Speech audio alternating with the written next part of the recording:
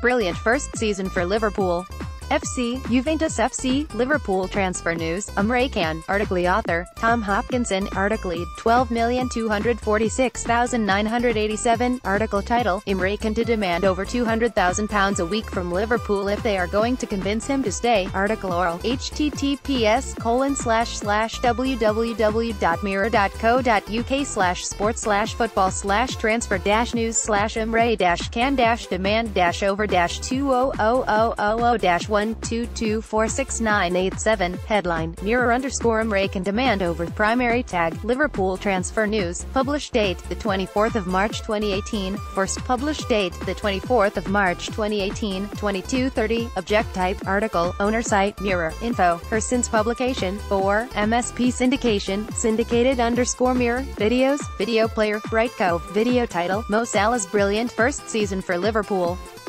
So far, placement, lead, duration, 0, bid 5,753,685,353,001, uploader, Ibrahim Mustafa, source, 06BEF9C772F856FCDFB6F8F237B9C80, content vertical, undefined, site, undefined, clearance, network, source oral, pass lead video, true, interaction, name made, 12,246,987, 7, greater than Liverpool will have to pay Emre Can more than £200,000 a week if they want him to stay. The Germany international, who is out of contract at the end of June, is looking for a new deal that would make him the highest-paid player at Anfield.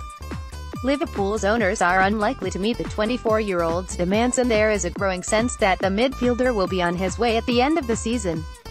Premier League leaders Manchester City and Italian giants Juventus are among his admirers.